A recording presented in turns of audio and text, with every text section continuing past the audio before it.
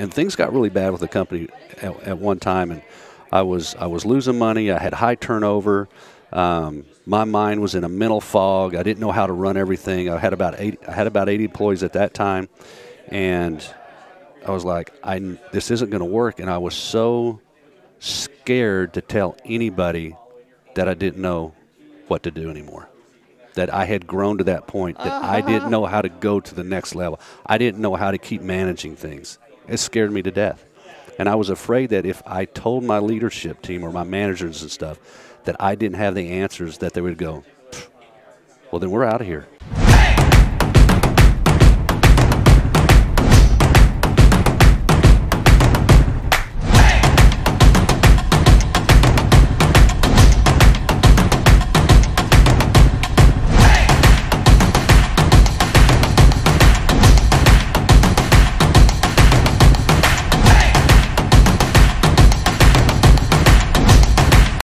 We have Michael Hinderliter from Power Wash University, and we're live right now on the Untrapped podcast in Fort Worth, Texas, at this amazing event and exposition.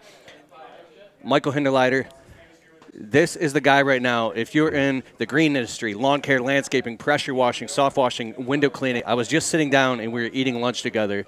I'm like, man, you've scaled multiple business to businesses to $10 million with 80 employees. And then I find out that this guy actually he's been through some tough times, and that's what I want to put him on the spot on this podcast right now. What's up, Michael Hinderliter? Tell us about yourself. Sure, sure. Been in the power washing business since 1985. Uh, was fortunate enough to have my dad as what you would call the OG, as, as a lot of guys refer to. And and when we were a few years ago, you called me the OG. I said, well, really, my dad's the OG of the OG right? Because he started out in 73 in the power washing when it's in its infancy.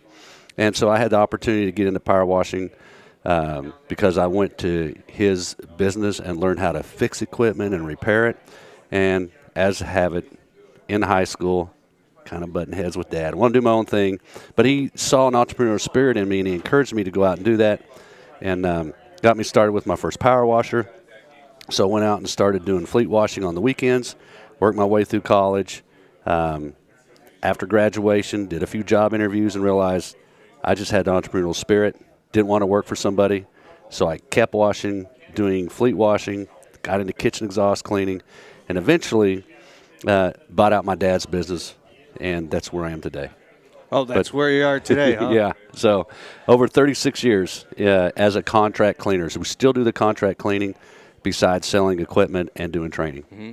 Now, how did you get here, and what did you go through specifically when we were sitting down? There's a whole there's a whole yeah. event going on inside there right now with a few hundred people learning and growing. Uh, Joshua Latimer, Brandon Vaughn, Bobby Walker, mm-hmm. and uh, Jason Guyman, and a lot of great minds in there. And we're learning a lot. But when I was talking to you, you said agoraphobia. Yeah. That you went through. That's a big deal. Yes.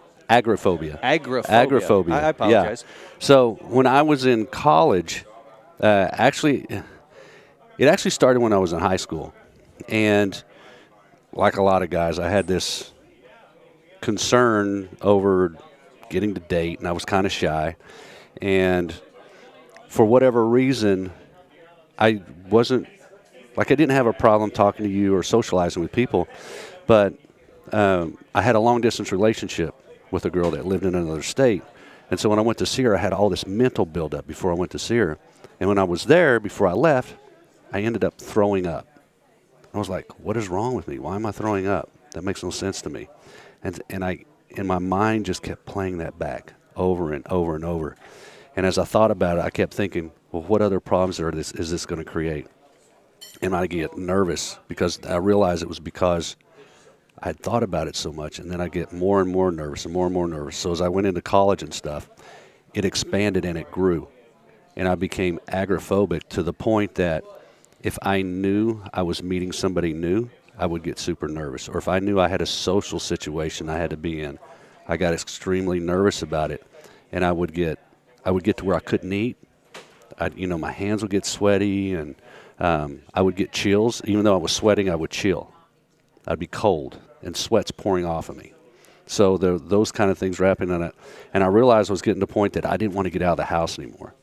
But I had all this turmoil inside me that wanted to do things with my life, and I wanted to go travel, and I wanted, you know, I wanted to date and have a girlfriend and all that kind of stuff, and I wanted to meet people, but my mind was telling me you can't because you're going to fail. People are going to think all these bad things about you. You're not going to say something right. So eventually, I just like, I got to get help. I got to do something. And I was listening to the radio one day, I'll never forget the name of the program. I don't think they're around anymore, but it was called Tear Up. And they were looking for people to join in and get coaching on how to get over agoraphobia. They didn't call it agoraphobia. They called it something. It's just social anxiety. That's what they said. But later in my life, I realized there was a term for it, and that's when I found out it was agoraphobia. And uh, so I joined this group. It was a really small little group, and they gave us this book, and we worked through it. And one of the things that really profoundly impacted me in that learning was that we, a lot of people that suffer from it, are very hard on ourselves. So outside it, we don't really listen to everybody's compliments or how you're doing or you look great. We completely discount all that. And we're like, no, we're not. You missed this right here. You didn't see that. Or, um, and just, we are our worst critics.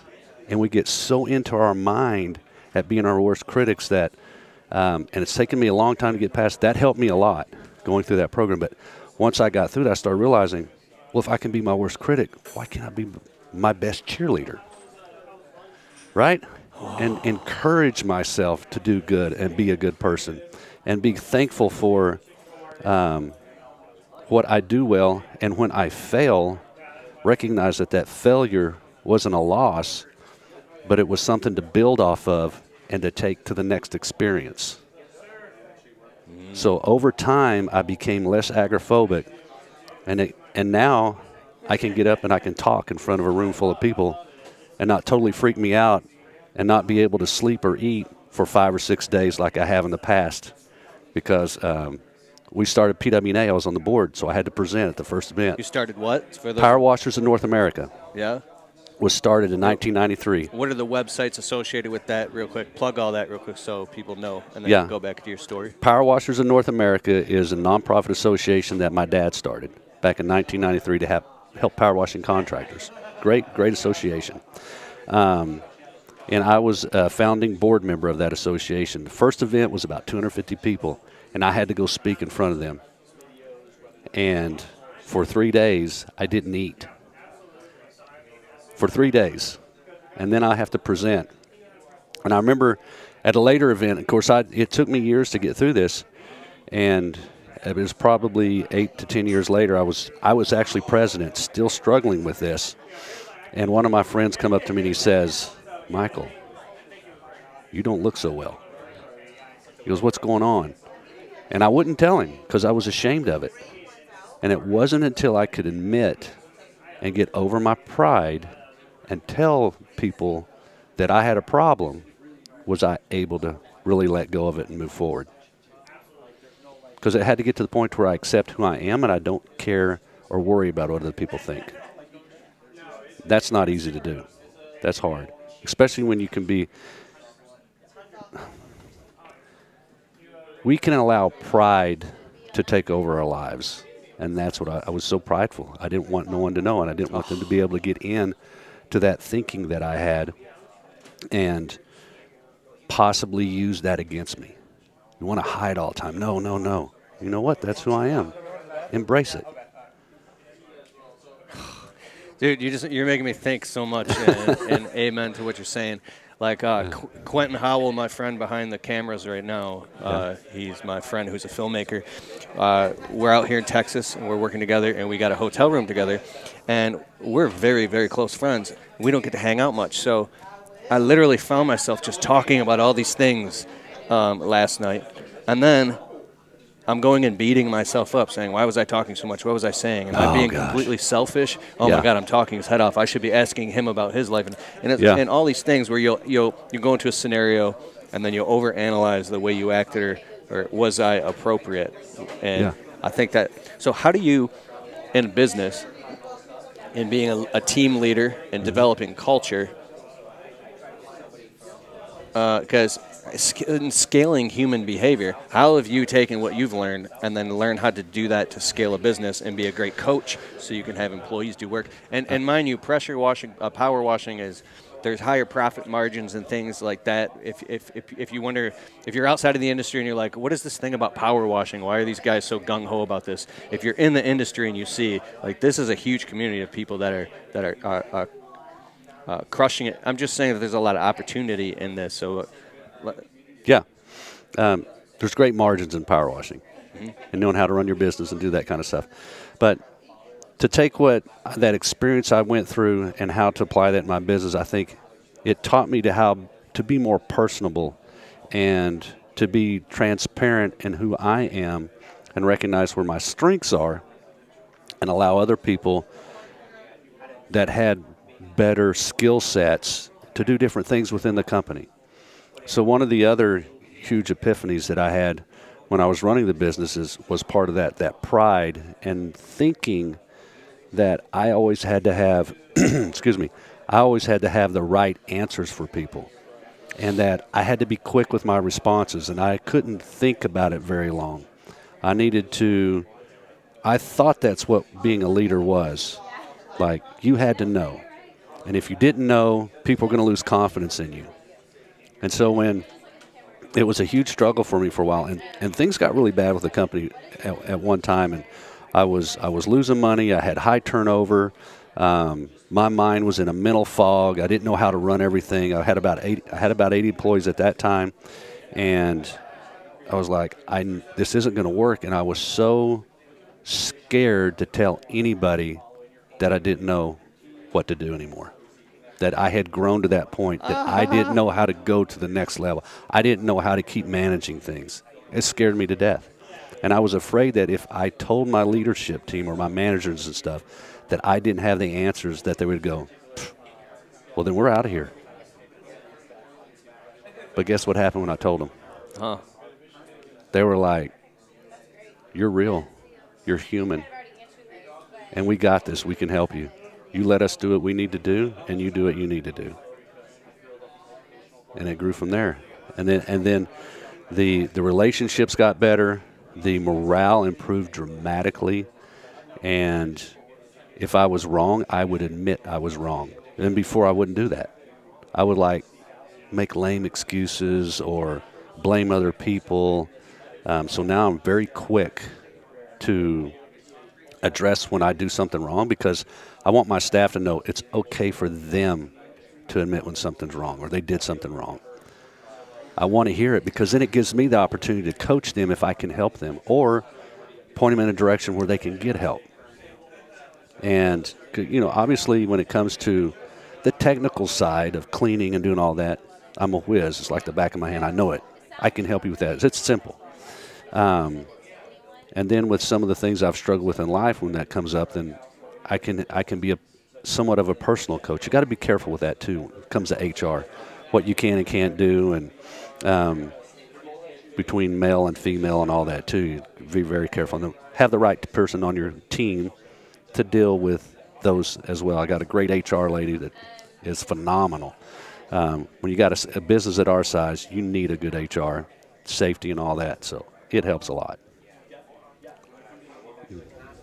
I'm just absorbing right now. I'm chilling. like, I'm thinking about the parts of myself. And if you you watching like our uh, control freak, afraid to let go of control, I know. Oh, uh, gosh. I'm watching Brandon Vaughn's new Yeah. YouTube channel, uh, Map to a Million. Yeah.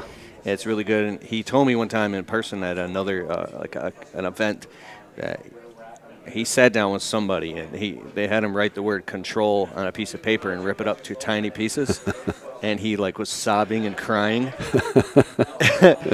and I think about that stuff. Uh, I saw you—you on YouTube too. What's your YouTube channel? Uh, powerwash.com. Powerwash.com. Powerwash.com. I saw you were Yeah. standing in front of like uh, big receptacles, and you were talking about how to. It was like a training video. I don't know. It was really high quality. Go to powerwash.com. Put links in the show notes Yeah. and below here. Make sure you go there, subscribe, and check it out.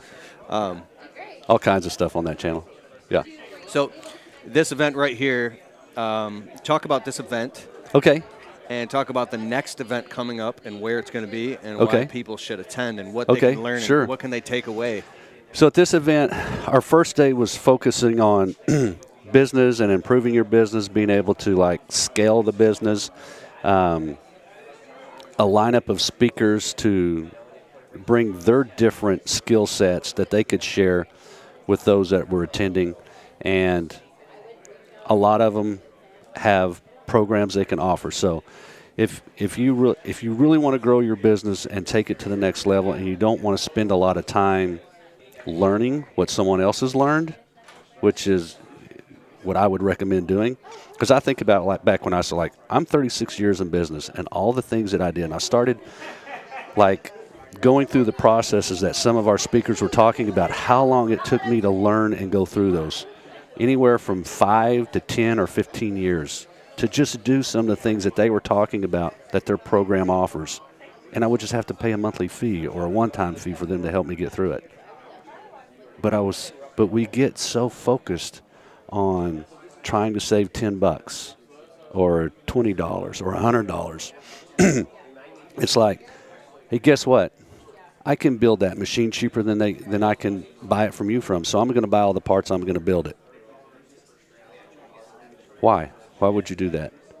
Why don't you go buy it from someone who knows how to put it together, who knows how to make it run and last, instead of spending your time building it when you should be out building your business and getting customers and creating revenue to grow that business.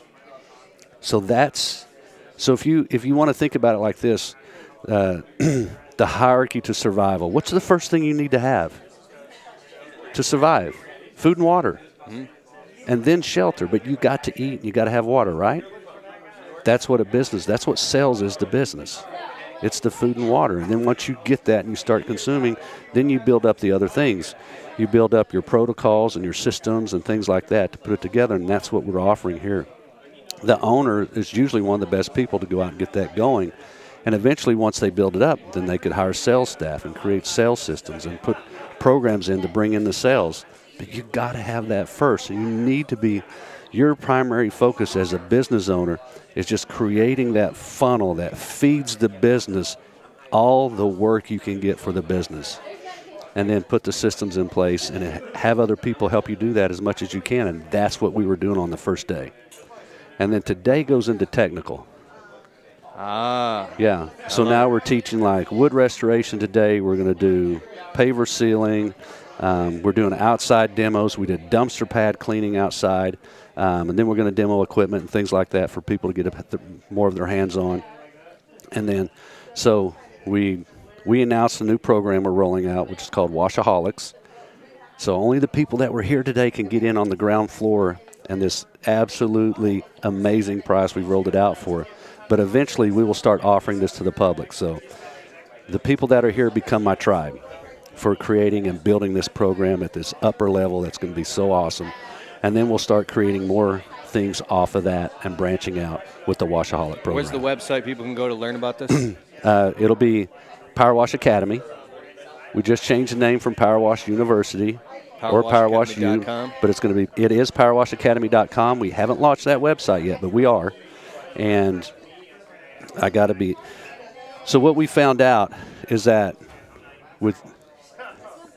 Better oh, wrap it up. Verdict. All right. okay, so we'll leave it at Power Wash Academy. Flip it over so people can see your name. Yeah. Oh, there we go. Michael Hinderliter. Right? Michael Hinderliter.